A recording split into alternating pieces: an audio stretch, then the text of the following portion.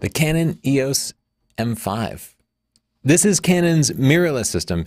Yes, they have mirrorless cameras. They're APS-C cameras. They're so the sensors are, are the same size as your 80D or your 70D, but smaller than your 5D and your 6D cameras. Very good image quality. And I just want to post a correction because a couple of weeks ago I posted a video about consumer cameras and I said the EOS M series is dead. Turns out there's still a little bit of life left in it. But I think you can understand my confusion because it's like, have you ever been dating somebody and they just don't respond to your texts anymore? And then, like, after a couple of weeks, you're like, I, I guess we're just not dating. Canon, when they released the last EOS camera, the M3, they didn't even release it in the US initially. And then, like, a year later, they started selling it in the US. And they've only ever made seven lenses for the whole system. So I guess uh, that that's why I thought EOS M was dead, but here it is, the M5, and it's actually kind of an interesting camera. Let's take a look at it. We've worked with basically every part of this camera, even though we don't have it for review right now. Um, subscribe, and I'm sure we'll get a hands-on with it very quickly. This is a live broadcast, so you can actually tweet and use the hashtag TC Live, and our producer Justin can toss your tweets on screen as long as you're watching live. Uh, let's get into the stats of it. First, the design of it seems to be based on the uh, 1990 Canon uh, design aesthetic, which is bulbous and uh, bouncy and plasticky. And keep in mind, it's a mirrorless camera. So this bump you see at the top here, that's for a prism that's required for DSLRs or SLRs in general. And it doesn't need that. So they put that bulbous thing at the top just for aesthetic purposes because they think that looks good, I guess. I, I, will say it tells you something about the market that they're trying to appeal to here, and that's people who want an SLR but maybe want something smaller. Um, but people still want to feel like they get a real camera, and to some people, it has to look like like this, like an 80D or traditional 90s SLR style, or it doesn't seem like a real camera. I don't think that's true. Like I feel like all these are real cameras the body alone is $1,000. And that's a really high price point. And this is actually very consistent with what I said in the Death of the Consumer Camera video because what I said was the bottom end of the market was falling out. And what we'll see is only higher end, medium and high end cameras. And $1,000 is a lot. It's the highest they've ever charged for one of these EOS M cameras. With a basic kit lens, it's $1,100. Uh, good wide angle lens, 15 millimeters there. And uh, with a more telescopic zoom, it's coming in at $1,500. So you're talking about expensive prices here. It should be available November 30th, 2016. Now, this is the first EOS M camera to actually use Canon's dual pixel AF, which is kind of shocking because it's been, it was in the Canon 70D and it's in the Canon 80D as well as the T6S and the 5D Mark IV, the 1DX Mark II, and it's fantastic. You really can touch the screen and it will immediately and smoothly focus. It's fantastic for video. And even if you use live view on the your DSLR, it will work pretty well and focus pretty quickly. It's still not as good as focusing with a viewfinder because when you use the viewfinder in a DSLR, it has a phase detect dedicated off sensor phase detect sensors that are bigger than those little dual pixel AF sensors. But Canon does a great job with dual pixel AF. Switch between a Nikon live view and a Canon live view, and you'll see the difference because Nikon is very clumsy and slow, and Canon's technology here is novel and fast. And I'm excited to see it in a mirrorless camera and to see how it really compares to like the amazing focusing system in the, the Fuji X-T2. Um, so that means that the focusing system here will be usable. And I don't know if it will track a sprinter at dark because if you notice at the end of that video, they said the images were simulated. So we'll test it and find out for you.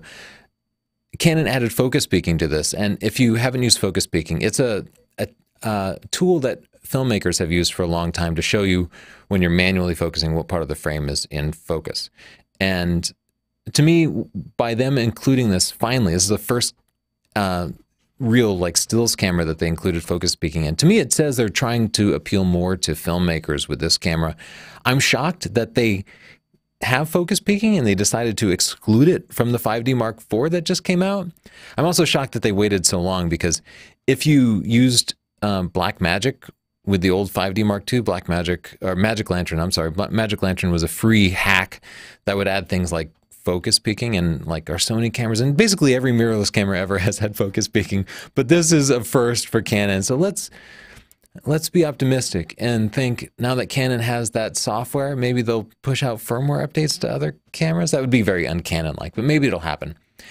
Five axis stabilization. And if you look at the marketing material and you look at this cool graphic here, you would quickly conclude that it is similar to the sensor stabilization that's built into Sony, Pentax, Olympus, Panasonic cameras. And we have loved sensor stabilization. You know why? Because you can put a fast, unstabilized prime on there, and then suddenly it has image stabilization. And it means that the camera manufacturers don't have to design lenses with stabilization built in, which means they can focus on making higher quality, lower cost optics. Sensor stabilization is fantastic. And this does not have sensor stabilization. You, I would understand you being confused. It even feels misleading to me. But what Canon is doing is they're offering digital stabilization for video, which means the video is cropped a little bit but if you move the camera up, it will move it up the up the part of the sensor that it's reading. So it's not as good as optical stabilization. It's not as good as sensor stabilization, but it does help smooth video out. It will do nothing for your stills, and it only works with stabilized lenses. So if you have some hopes of sticking an unstabilized prime on there and benefiting from it, forget it. Um, I feel like this is like somebody in the marketing marketing department said, "Hey, all these other manufacturers are offering sensor stabilization. We need to do that." And engineering came back with, hmm, "We can say we do it." uh, it is offering uh, Wi-Fi, Bluetooth, and NFC wireless technology. So you can see Canon they're, they're adding Bluetooth. That's something they have never done before. And you can see that Canon is trying to respond to Nikon and SnapBridge, as well as this massive effort for smartphones to basically slaughter the existing camera industry. They're trying to make the camera more connected to the smartphone. And a big part of their marketing is going into showing you this. The novel part about this is the Bluetooth. Uh, SnapBridge uses Bluetooth to actually slowly transfer pictures in the background. Bluetooth is nice because just like your smartwatch and your smartphone can maintain a constant connection, Bluetooth will allow your smartphone to maintain a constant connection to your camera. Now, I don't believe that the Bluetooth is actually transmitting files in this case. I think what's going to have to happen is you'll use the Bluetooth to allow the camera and smartphone to maintain a connection so you can more easily switch to Wi Fi when you need to. The benefit of Wi-Fi is that transfers happen much faster. But the huge drawback to Wi-Fi is the way smartphones work now is when your smartphone connects to your camera's Wi-Fi, it completely disconnects from the internet. That it doesn't have to work that way, but every smartphone I've used, iOS and Android, when you connect your Wi-Fi to your camera, it disconnects you from the internet. And that means you transfer your pictures from your camera to your phone and then you have to manually disconnect that Wi-Fi just to get them back on, get to post those pictures to Instagram or Twitter or whatever. So it becomes kind of a clumsy process. But the Bluetooth here is definitely going to make things easier. And I, again, I don't know why they put Wi-Fi in the 5D Mark IV, but didn't include Bluetooth because pros are posting stuff to social media and making that process easy would definitely help. But nonetheless, I'm glad Canon has this technology now and I hope to see it in future cameras. They put a selfie screen on this camera, but they did it in a weird way. Now, if you look at the Canon 80D, this is basically an 80D. It has the same sensor as the 80D and most of the same features. It's just mirrorless. But on the 80D, you can flip it out like this, and that means you can flip the screen towards your talent if you're a cameraman, or you can film yourself and watch what's going on, or you can take selfies by turning it around back towards yourself. The selfie screen flips out from the bottom here, and I never understood why you'd want this over having it flip out from the side. But nonetheless, it works, and if you're hand holding it, it can be fine. But there's one big drawback here, and pardon my terrible mock up, but if you mount it to a tripod, it's going to be blocking the screen. so, I mean, they, they want this for vloggers who are filming themselves, but vloggers won't always be hand holding it. Sometimes a vlogger sticks it on a tripod, and that case you just won't be able to see the screen. Weird, weird design choice. And then another new feature for Canon that they kind of borrowed from Panasonic is, is touch focusing. So while you're looking through the viewfinder, you can drag your finger across the touch mm-hmm. display and actually change focusing points. And that is their kind of answer to not putting a proper thumbstick on the back of the camera. I would like both a thumbstick and that. Um, this is another thing that Canon could push out through firmware updates to their other touchscreen cameras, but again, I wouldn't hold my breath because that's not really Canon's way. they don't give you free updates. Uh, nonetheless, it's a cool technology that I hope to see in future cameras because it's it's a nice to have. It's it's more of an analog way rather than like clicking a thumbstick multiple times to point, point, point, point, which can be really slow and you need to move from one side to the other. It's more like using a mouse where you can just swipe it quickly and get from one side to the other. glad they borrowed that from Panasonic. The video is going to be a huge disappointment for people. It's 1080p and 60 frames a second, which is real old technology.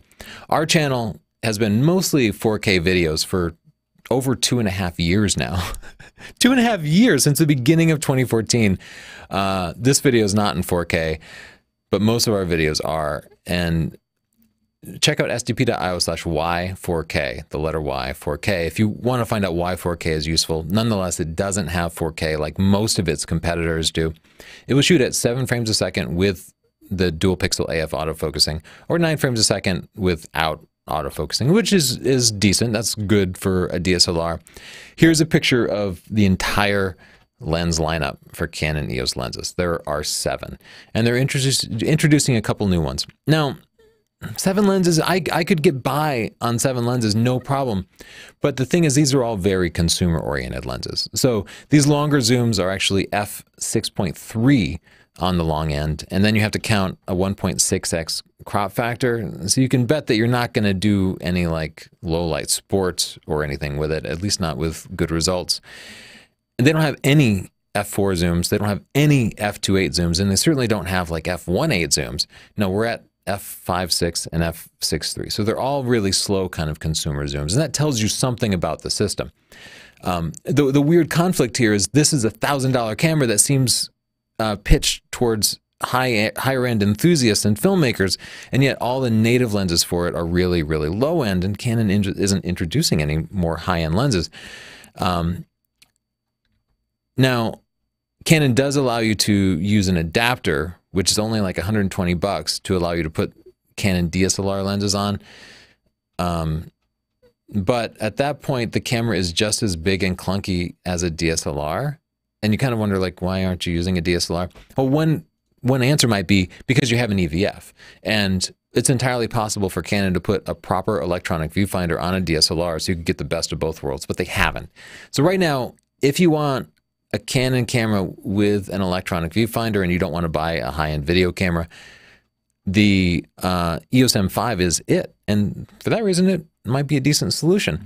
Now, I mentioned it has 24 megapixels because it's the same sensor as the Canon 80D, which has a decent sensor. It doesn't hang with basically all of the competition like Sony, but it's a decent sensor.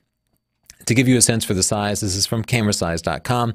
That's the 80D on your left there, and then the M5 in the middle, and the Sony a6300 on the right. You can see it's clearly meant to look and feel like a DSLR, it's not as small as a small mirrorless camera. It's somewhere in between. I mean, I don't feel like my mirrorless cameras need to be tiny because when I do use tiny mirrorless cameras, I always, when I'm actually using them, I always think, oh, I wish the grip were a little bit bigger. I wish it had more buttons and stuff. So I don't mind that. I think this is a good size compromise. This is a top view. And it's showing that as you start to attach lenses to these tiny mirrorless cameras, the size benefits really disappear. And the fact is, the 80D there on the left, it is definitely bigger with that lens, but the lens is also faster and better than the one you could get for the M5 here. When you put, we found that when you get glass that produces the same results, it's going to be the same total size. So if you're out and about, sometimes you end up putting the camera uh, like on your table while you're having lunch, and it is nice to have a camera that doesn't take up the entire table. I appreciate a smaller camera.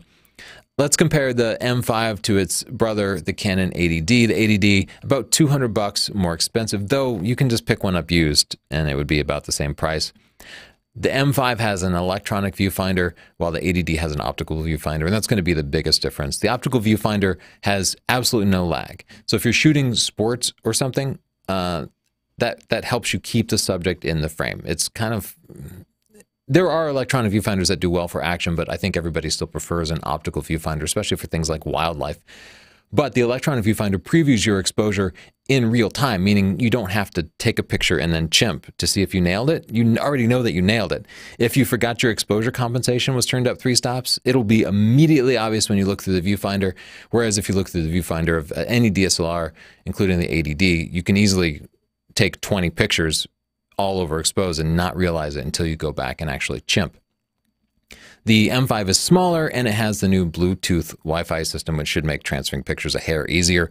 The 80D, however, one of the benefits of that size is it's bigger, it has better controls, it has a, a top display, um, and while you're using the optical viewfinder, the focusing will be far superior, much better, better for tracking fast moving subjects, especially with big telephoto lenses.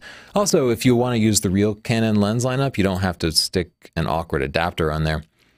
If we compare the M5 to the A6300 here, the A6300 obviously smaller, it's about the same price, and looking, I know DxOMark, I know, I know, but this is our this is consistent with our own testing. It's about 27% cleaner.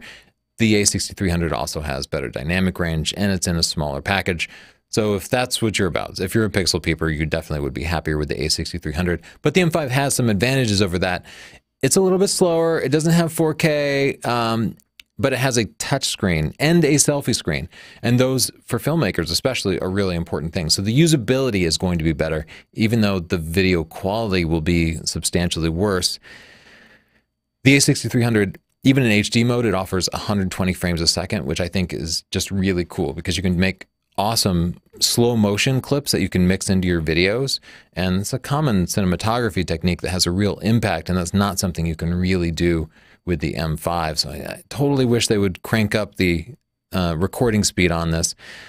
I'll also point out that the A6300 and the Sony E-mount system has a much better lineup than the M5 system. It's it's the lenses that really stop me from recommending the Canon EOS M system because I the adapter seems pointless. Why not use a DSLR at this point? And the lenses themselves are very, uh, very low end consumerish gear, and that's not really the people who ask me about cameras. Let's compare the Canon M5 to the Panasonic GX8. The Panasonic GX8, as you can see, has a smaller sensor. It's it's a micro four thirds camera, uh, so your still images wouldn't have quite the same quality, but the GX8 has 4K with a bit of a crop it has the EVF over to the left, which which means that it's like this camera. It means that it doesn't bump against your nose if you use your right eye. If you use your left eye, it's actually easier to have a viewfinder in the middle. But I, because I use my right eye, I actually prefer the viewfinder to be over here. The GX8 also has a fully articulating screen, which we prefer, like the 80D.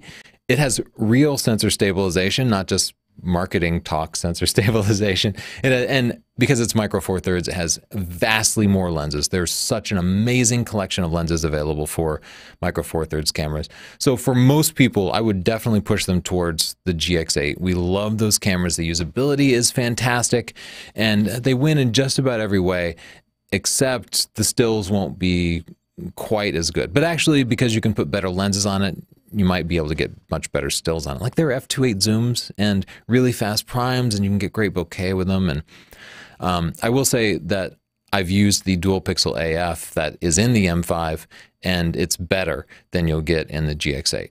Nonetheless, for still subjects, the focusing in the GX8 is just fine. It's just you wouldn't want it for tracking action. So, what are we disappointed with in the new M5? Well, a, big part of focusing with one of these mirrorless cameras, especially for portraits, is getting the eye in focus. And in Fuji and Sony and in the Micro Four Thirds worlds, we have the cameras have eye detect where they'll find the eye and focus on it. The Canon has face detect, and that's fine for the lenses that Canon is currently offering. But if you were to try to adapt like a 7200 f2.8 or some lens with shallow depth of field, you would that would be insufficient. The camera would be focusing on the face, which might mean the nose or the forehead, and it would be a little bit out of focus. But because Canon doesn't actually have those types of lenses, maybe it's not a problem. With the 5D Mark IV, Canon introduced HDR video, which is cool. It means instead of the sky being blown out, the sky can be nice and blue. And it's very like an amateurish, consumerish type technology. And this camera is kind of consumerish. So why not put that in there? I wish they would have. It could have done it. Of course, as I mentioned, no 4K video. Um, also, no zebras. It's weird because focus peaking and zebras they go together for filmmakers, and it's super easy. Zebras just highlight parts of the picture that are overexposed when you're recording video. I don't know why they didn't put that in. No headphone jack. Again, for a video centric camera, I know not everybody listens to their audio, but even if you're vlogging and filming yourself, it's nice to record yourself and then just listen back to make sure you got the sound and that there was wasn't wind blowing right in the mic or a jackhammer behind you that you didn't notice. So you won't be able to just play back the audio except through the little mono speaker that it has. A headphone jack is easy to put in and nice to have, and it's not exactly the new iPhone. Like it doesn't have Bluetooth headphones or anything you can connect to it. You're just out of luck. As I said, no real sensor stabilization and no GPS. I love GPS in cameras because you can import your pictures and see everything on a map. They added a low pass filter, which makes your pictures a little bit less sharp, but is kind of actually preferable for video. Um, they have a new touchscreen, and their marketing material is really talking about how you can touch the menus and stuff. And it's clear they're trying to pull in the smartphone crowd by making them think, oh, it has a touchscreen just like your smartphone. You can touch stuff. But the touchscreen is super, an- or the, the user interface is super antiquated. You're still looking at like literally 1990s menu style systems and you're touching them. It's, you can't like swipe through menus. And if you have to use the keyboard, it's a nightmare. For filmmakers, we like to use a, a, a, logarithmic scale that captures more dynamic range. This allows you to prevent the sky from being blown out and still get good details in the shadows because our eye can perceive more dynamic range than most cameras can. Canon has something they call Canon Log, C-Log, which provides this, which allows you to capture all of that and then fix it in post. They, they didn't put it in this camera. If you're interested in ordering the M5, use our link, please, sdp.io slash M5. Subscribe to see more reviews. We'll have a lot of review videos coming out this week because of Photokina. And uh, give me a like, uh, any questions, add a comment. Thank you. Bye.